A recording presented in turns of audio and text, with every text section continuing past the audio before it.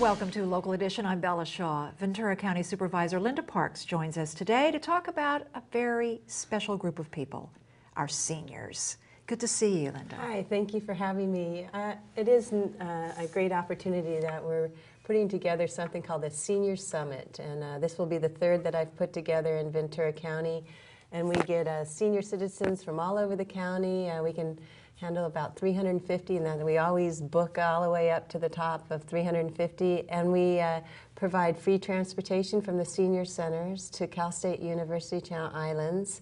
And we have uh, workshops, uh, sessions where they go and attend, and uh, it's, it's a really fun experience for them, but also a really good learning experience. And uh, there's a lot of give and take and, and input received by our our service providers and uh, our, our, health professionals, and they learn, and, and so do the, the seniors. So it's a great, great day. So it's not like an expo where there's different booths set up. These are actual classrooms where they can pick up some knowledge while they're there. Exactly. We have uh, some panels, and the senior citizens uh, go to the sessions, and they pick which uh, sessions they want to go to, just like, like in school.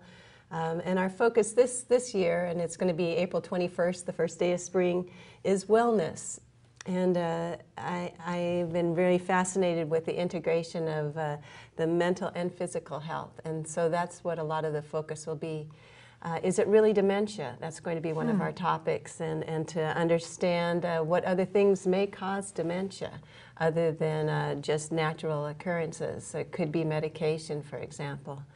Um, another one is called uh, Come Out and Play because uh, some seniors, you know, they, they, they may feel um, they become isolated. They don't want to go out because they may not hear as well or they may not walk as well and they become isolated and then that could lead to depression.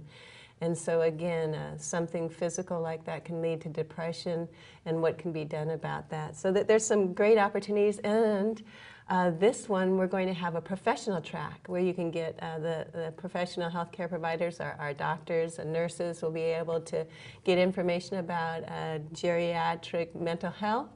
Uh, sometimes doctors will see someone with a hip problem and um, realize the person's depressed but not mm. really know what to do about it. So this will help uh, educate the doctors too. That whole mind-body mm -hmm. connection. And we say seniors, what ages are we looking at? Um, basically, we're also looking at baby boomers because they can learn something if they're they have a, a an elderly parent, but obviously also uh, uh, anybody of any age is welcome.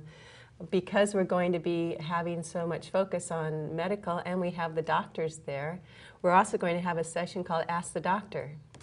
We'll have one for uh, the aging female body and the aging male body. So you can say, is this normal? You know, I mm -hmm. might have mm-hmm. this problem, and they'll feel comfortable. Just put women with the They have different issues in aging than the men do. absolutely. Uh, we'll also be looking at um, end-of-life kind of decisions so people can um, become more proactive in their health and then also um, have their documents together. We'll be able to put together advanced care directives right there at the session. So there's, there's a lot to be learned, and um, I know that it will be helpful to the seniors. And it, it, also is just nice social interaction. It's a free, free lunch and free transportation. It's all done uh, because of people in the community and, and businesses in the community who are donating to help us pull this all off. And if we're lucky enough, we'll all go down that road someday. So that's right. I mean, the, it beats the alternative, you know. So it's hopefully uh, it's something we all share in common is that we will get older. that's right. And whoever called them the golden years, anyway. Ventura County Supervisor Linda Parks, thank you so much for joining us here on Local Edition, and we thank you as well. Now back to HLN.